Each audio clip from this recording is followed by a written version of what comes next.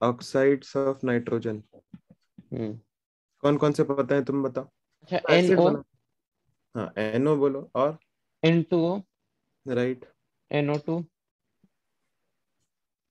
N two O three N two O five का नाम नहीं सुना? ओ हाँ N two O three N two five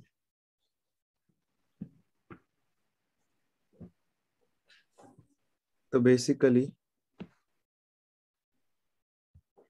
एक और होता है। एन टू ओ फाइव और एनओ टू जनरली किस फॉर्म में एग्जिस्ट करता है? एन टू ओ फोर के फॉर्म में। हम्म। ठीक है नाम अगर देखें तो एन टू ओ कौन सी गैस है? Oxide nitrous oxide N O nitric oxide nitric oxide और ये? हाँ। एसिड में आता है ना? नाइट्रोजन डाइऑक्साइड नाइट्रोजन डाइऑक्साइड हाँ। कार्बन डाइऑक्साइड की तरह nitrogen dioxide N two O three हो जाएगा। नाइट्रोजन डाइनाइट्रोजन ट्राइऑक्साइड हम्म।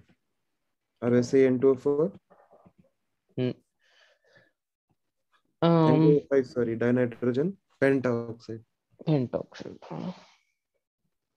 तो ये पाँच ऑक्साइड्स हैं और जेई में आई थिंक 2021 में भी एक सवाल आया है ऑन NO2 शायद। NO2 या तो फिर N2O3 पे। तो सिंथेसिस बेसिकली इनकी पूछी जाती है रिएक्शन पूछी जाती है। तो हम्म, सबसे पहले अगर मैं बात करूँ NH4 NO3 को हीट करेंगे ये रिएक्शन हमने ऑलरेडी डिस्कस कर रखी है। बताओ क्या बनेगा प्रोडक्ट बताओ 2H2 निकलेगा तो क्या बचेगा? N2 N2? बचेगा कि- कि N2 N2O बचेगा? N2O N2 तो सबसे पहले तो ये बना है कि NH4 NO3 ने हीट करके N2 और H2O बनाया क्या तुम्हें पता है N2O न्यूट्रल ऑक्साइड होता है? हम्म। है ना? हम्म। न्यूट्रल ऑक्साइड है और कलरलेस भी है लाफिंग गैस कलरलेस ऑर्डरलेस है ना? हम्म। एनो बनाने का कोई तरीका बता सकते हो तुम? सी है तुम अगर ध्यान से सोचो पिछली क्लास में अपन ने मेटल्स की रिएक्शन HNO3 के साथ देखी थी। कंसंट्रेटेड HNO3 होता है तो NO2 निकलता है याद आ रहा है? हाँ हाँ। डाइल्यूट होता है तो N2O निकलता है। हम्म। पर कुछ मेटल्स हैं जैसे कि कॉपर लेड एल्यूमिनियम हम्म। इन लोगों के साथ क्या निकलता है? एनओ निकलता है। ओ हाँ know याद आ रहा है? हम्म। तो copper plus H N O three क्या क्या प्रोडक्ट्स देगा बताओ? Lower oxidation state higher oxidation state okay N O plus H two है ना? तो ये हमारे पास प्रोसेस हो गई NO क्या तुम्हें पता है? एनओ भी न्यूट्रल होता। है हम्म। तीन ऑक्साइड्स होते हैं सीओ एनओ और एन टू राइट हम्म। तीनों न्यूट्रल ऑक्साइड्स होते हैं कलरलेस है। हम्म। और नेक्स्ट अपन बात कर लें NO2 की। हम्म। NO2 क्या बस यहाँ पे कंसंट्रेटेड यूज़ कर लेता? तो क्या बन जाता? CuNO3 whole twice plus NO2 plus H2 हम्म। नेक्स्ट मैं अगर तुमसे पूछूँ क्या NO2 को अगर मैंने पढ़ा रख, रखा? पहली बात क्या NO2 पैरामैग्नेटिक है डायमैग्नेटिक ये बताओ। ये तो हमेशा ही पैरामैग्नेटिक होगा। हम्म। और NO2 कौन सी कलर की गैस है ये भी पता है क्या? हम्म।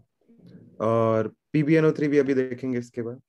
तो ये कन्वर्ट हो जाता है N2O4 में। ये पैरामैग्नेटिक दूसरा भी पैरामैग्नेटिक दोनों के जो दोनों के जो एक एक इलेक्ट्रॉन आपस में पेयर हो जाते हैं। याद रखना कि NO2 इज़ ब्राउन रंग ब्राउन कलर्ड हम्म। बट N2O4 इज़ कलरलेस दूसरा जो तुमने बताया LiNO3 जो है हीट करने पे क्या बनाएगा? Li2O ये अपन ने वैसे हम्म। पढ़ रखा है। Li2O plus NO2 plus O2 है ना? हम्म। ऐसे ही अगर मैं Pb ले लूँ this is also very important PbNO3 whole twice ये पूछा जाता है। ओके PbNO3 का होल्ड ट्वाइस को हीट करूँगा तो? आई थिंक PbO बन रहा था plus NO2 plus exactly same जैसे ऊपर किया है ना एक oxide plus NO2 plus O2 हम्म। है ना? तो वो ये पूछ हम्म। सकते हैं कि बताओ मतलब ऐसे सवाल पूछे जाते हैं इंटीजर टाइप में determine which of the following will liberate NO2 gas on heating हम्म। तो तुम्हें पता होना चाहिए। ठीक है NO2 की बात हो गई। N2O4 और NO NO2 की प्रॉपर्टीज़ एकदम सेम होगी क्योंकि वो बस डायमराइज करके ही बना है। हम्म। है ना? ऐसा कुछ हम्म। नया नहीं बनना है। हाँ। हम्म, नेक्स्ट मैं बात कर लेता हूँ N2O3 की। तो एनी गेसेस कि अगर N2O3 बनाना है तो किसकी मदद से बनना है? सकता हूँ कि एक NO ले लूँ और एक NO2 सॉरी हाँ NO2 ले लूँ तो ये N2O3 बन जाएगा। हम्म। क्योंकि एक में प्लस टू एक में प्लस फोर दोनों का एवरेज लेने पे N2O3 बन जाता है राइट हाँ। बाकी नॉर्मल सी ये भी बात है कि अगर मैं NO को ऑक्सीडाइज करूँगा हम्म। अगर तुम्हें थोड़ा थोड़ा याद आ रहा हो तो सबसे पहले ये बनाएगा एनओ टू और फिर हम्म। ये जो एनओ बचा है और एनओ टू बचा है ये वापस क्या बना सकता है? एन टू थ्री तो हम्म, अगर मैं इसको एक ही स्टेप में लिख दूँ तो क्या है? NO plus O two N two O three बना सकता है। रिएक्शन हम्म। तुम बैलेंस कर लेना। हाँ। किसी ऑक्साइड को पानी में डालते हैं तो एसिड बनता है। बता सकते हो कौन सा एसिड बनेगा? एच एन अभी अभी अभी अभी अपन ने ऊपर एसिड देखे। नाइट्रोजन की ऑक्सीडेशन स्टेट बताओ। आ रही बात समझ में? एक और रिएक्शन हालाँकि इतनी ज़्यादा नहीं पूछी जाती। है N2O3 plus NaOH any guesses कि क्या बन सकता है? ठीक है ये ये रिएक्शन इतनी ज़्यादा नहीं पूछी जाएगी ये इसको तुम छोड़ भी सकते हो इतना ज़्यादा टेंशन। हम्म। यहीं पे मैं तुमसे एक सवाल पूछता हूँ बहुत अच्छा है। N2O4 को अगर पानी में डालूँगा तो क्या बनेगा? बन जाता है यहाँ पे। HNO2 और HNO3 दोनों बनता है। एवरेज निकाल लिया है ना? तो एन टू ओ फोर बोलूँ या एन ओ टू की हाइड्रोलिसिस बोलूँ एक ही बात है। हम्म। नेक्स्ट जैसे N2O4 को पानी में डाला हम्म। अब हम लोग बात करते हैं कुछ डिहाइड्रेटिंग एजेंट यहाँ पे हम्म। तब पानी में डाल रहे थे अब पानी निकालेंगे उसमें से। हम्म, देखो पानी निकाल लो चाहे डालो ऑक्सीडेशन स्टेट सेम होने वाली। मैं तुम्हें बताता हूँ H3PO4 हो जाए। हम्म। H3PO4 हो जाए H2SO4 हो जाए ये सारे जो है ना स्ट्रॉन्ग डिहाइड्रेटिंग एजेंट्स है। ये हो जाए या तो फिर P4O10 हो जाए एसओ थ्री हो जाए। हम्म। है ना? P4O10 is same as P2O5 हाँ राइट और स्पेसिफिकली ये दोनों। हम्म। क्योंकि इनमें क्या है? मैक्सिमम ऑक्सीडेशन स्टेट है ऑक्साइड से ऑक्साइड्स की टेंडेंसी ज़्यादा होगी ना पानी लेने की। हम्म हम्म इन लोग तो फिर भी हीट की प्रेजेंस में करेंगे। इन लोग फिर हाँ। भी उतना इफ़ेक्टिव नहीं रहेंगे। ज़्यादा इफ़ेक्टिव ये दोनों रहते हैं। तो हम लोग क्या कर रहे हैं? अब इनका यूज़ कर रहे हैं। देखो अगर मैंने यूज़ किया H N O three oxidation state कितनी है एच थ्री की? प्लस फाइव प्लस फाइव तो अगर मैं इसमें डिहाइड्रेट कर दूँ पानी निकाल दूँ तो जो हम्म। ऑक्साइड बनेगा उसकी ऑक्सीडेशन स्टेट क्या होनी चाहिए? ऑक्सीडेशन स्टेट क्या है? किसकी? एच थ्री में नाइट्रोजन की ऑक्सीडेशन स्टेट क्या है? प्लस फाइव प्लस फाइव और ये क्या है? डिहाइड्रेटिंग एजेंट हाँ इसकी प्लस फाइव इसकी भी प्लस फाइव है। डिहाइड्रेटिंग एजेंट क्या करेगा? पानी रिमूव करेगा। हम्म। या पानी ले लेगा है ना? तो हम्म ना फास्फोरस की ऑक्सीडेशन स्टेट चेंज होगी ना नाइट्रोजन की ऑक्सीडेशन स्टेट चेंज होगी। हम्म। है ना? क्योंकि पानी ले रहे हैं या दे रहे हैं। तो बताओ इसमें से तो पानी जाएगा। तो ये एसिड का ऑक्साइड बनेगा। हाँ। और ऑक्साइड कौन सा बनेगा? एग्जैक्टली exactly, ये N2O5 बनाएगा और P4O10 ऑक्साइड है उसने पानी ले लिया तो क्या वो एसिड बना लेगा? 3PO4 में और थोड़ा पानी लगेगा। ये उसका ही HPO3 याद आ रहा है? मेटाफॉस्फोरिक एसिड इसमें भी प्लस फाइव है। हम्म ये बनता है।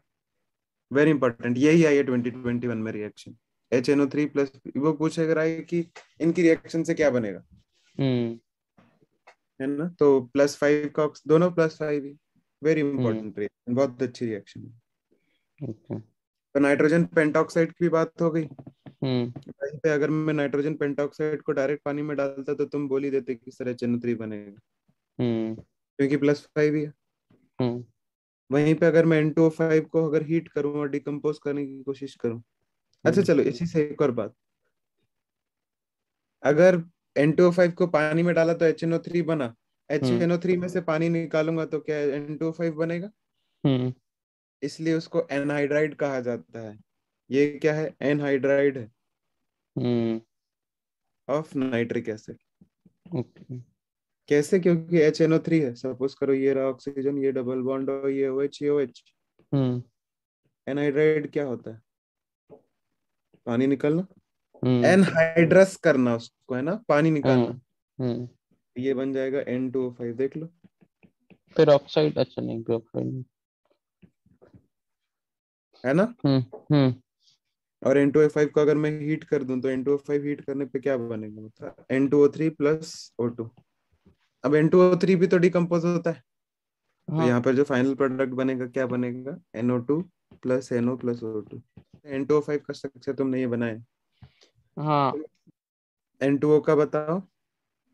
एनओ का बताओ। एन टू ओ थ्री का बताओ। अगर तीन बॉन्ड इनके बीच में बना लो। और O का? इसको लोन पे डोनेट कर दो कोऑर्डिनेट बॉन्ड से हम्म ये कर सकते हैं नहीं तो फिर इसको ऐसे भी कर सकते हैं कि बीच वाले नाइट्रोजन को बोलो दो इधर बना ले दो इधर बना ले। हम्म। है ना इधर हो गया इधर हो गया।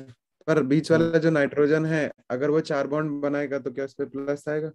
हम्म। और इस पे माइनस आएगा तो ये भी स्ट्रक्चर पॉसिबल पर ये अनस्टेबल है एज कंपेयर टू वो वाला। नहीं वो भी वैसे ध्यान से सोचो तो उसमें भी जो लोन पे डोनेशन हो रहा है उस पे उसको प्लस और माइनस लिख सकते हैं। हम्म। है ना? इसको नहीं बट तो एटलीस्ट कोऑर्डिनेट बॉन्ड है वो एटलीस्ट वो तो नहीं है नहीं चलो कोऑर्डिनेट बॉन्ड नहीं अब नहीं दिख रहा तुमको कोऑर्डिनेट बॉन्ड देख हाँ राइट क्योंकि प्लस और माइनस तो कोऑर्डिनेट बॉन्ड को तोड़ के अपन लिख ही सकते बट फिर भी ऑक्सीजन ज़्यादा इलेक्ट्रोनेगेटिव है तो उस पे बेटर है। एग्जैक्टली हम्म। तो अगर हम बात करें तो O पे माइनस ज़्यादा बेटर है एज कंपेयर टू नाइट्रोजन पे माइनस। हम्म। Next N O. तो N है और डबल बॉन्ड हो। नाइट्रोजन के पास एक इलेक्ट्रॉन खाली पड़ा रहेगा। हम्म। है ना? ऐसा। NO NO2 का स्ट्रक्चर सोचो कि ये भी एक ऑड इलेक्ट्रॉन स्पीशीज है। हम्म। बताओ। कोऑर्डिनेट बॉन्ड की ज़रूरत है क्या? हाँ। तो नाइट्रोजन पे पास पाँच है। हम्म। एक ये डबल बॉन्ड हो और एक कोऑर्डिनेट बॉन्ड ऐसे करके ऐसे। हम्म। ये NO2 का हो गया। अगर इसका ही डायमर बनाओ N2O4 बताओ कैसा बनेगा? तो क्या वो जो सिंगल इलेक्ट्रॉन है वो दोनों बॉन्ड बना लेंगे? हम्म। तो बेसिकली N2O4 का स्ट्रक्चर कैसा हो जाएगा? ये नाइट्रोजन ये अकेला लेके आ बैठा था ये अकेला लेके बैठा था इसने इसको दोनों ऐसे ऐसे और डबल बॉन्ड बन गया N2O4 हम्म। N2O3 का N2O5 तो बना ही लिया। N2O3 में क्या करेंगे? ओ हाँ अच्छा लोन पेयर पूरा जाता है उसमें भूल ही गया आई बात समझ में। हम्म।